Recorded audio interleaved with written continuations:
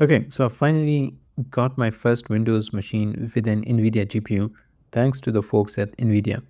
Now, I'm personally really excited about this because usually whenever I create video tutorials for open source projects, I simply skip the setup part for Windows machines.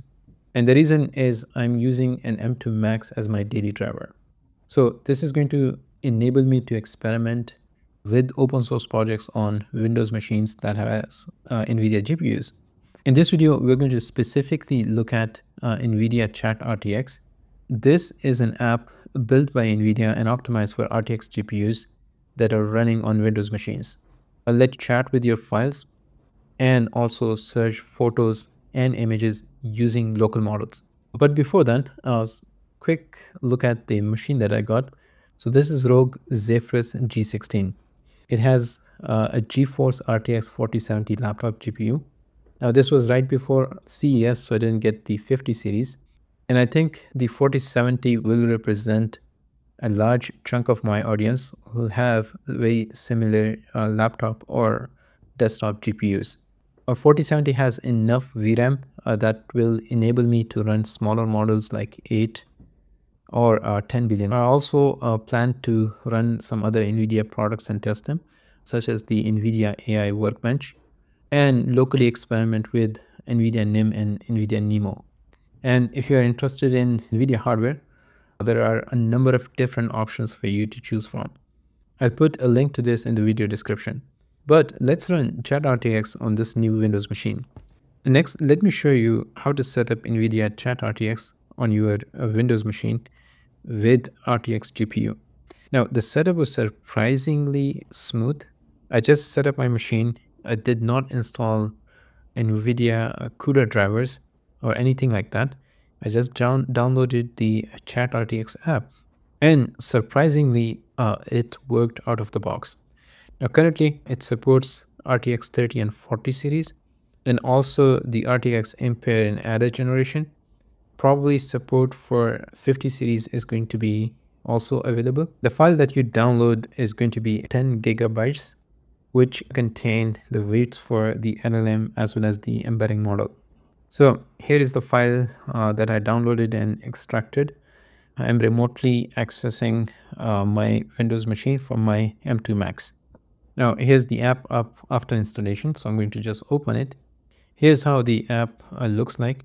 So everything is going to be running locally and privately uh, because you're running local models. Now the options in terms of the models is uh, limited. So right now by default it downloads Mistral 7B in 4-bit quantization. There is another Chat GLM which is a 6 billion model again in 4-bit quantization. You can also download a clip model if you want to search your photos and images. You can use this in two different modes. So one is chat with the AI model and the other one is chat with your data, which is basically an implementation of a RAG system. So let's start with the chat with your model. Okay, so here's how the speed is going to look like for this laptop GPU. Let's simply say, hi, tell me about yourself. The speed is pretty awesome. Okay, let's see the GPU utilization. So I'm asking it to write a Python function that downloads a file from an S3 bucket. Uh, the programming is running and you can see the GPU utilization as well as uh, the VRAM clock, uh, CPU utilization and everything here. It's running that 7 billion and 4-bit quantization, but it's pretty fast. Okay, the second option is uh, to chat with your data. Uh, and basically for that, you want to select the RAG option. Now you can provide a path to a folder. So I provided a path to this folder that has two different papers.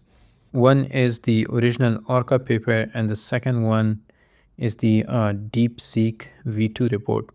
So I'm going to just click on this. This will basically refresh the dataset, which means it's going to compute embeddings for the chunks that it creates and then we'll be able to interact with our data. Okay, uh, to show you the speed of retrieval, I'm going to ask it what is instruction tuning. This is a section in the original Orca paper. So it's doing retrieval and here are the responses. So it says instruction tuning is a technique that allows pre-trained language models to learn from input and response pairs. So it generates the response and then it also shows you the files that have referenced. So here is the original Orca paper. And here's a section on instruction tuning. So this seems to be working out of the box.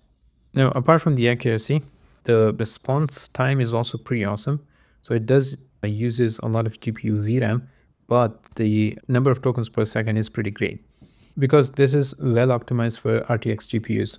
So if you're looking for out-of-the-box solution to chat with your documents and you have access to RTX PC or a laptop, do check out Chat RTX. It's a really good option. And if you're interested in NVIDIA hardware, check out the link in the video description.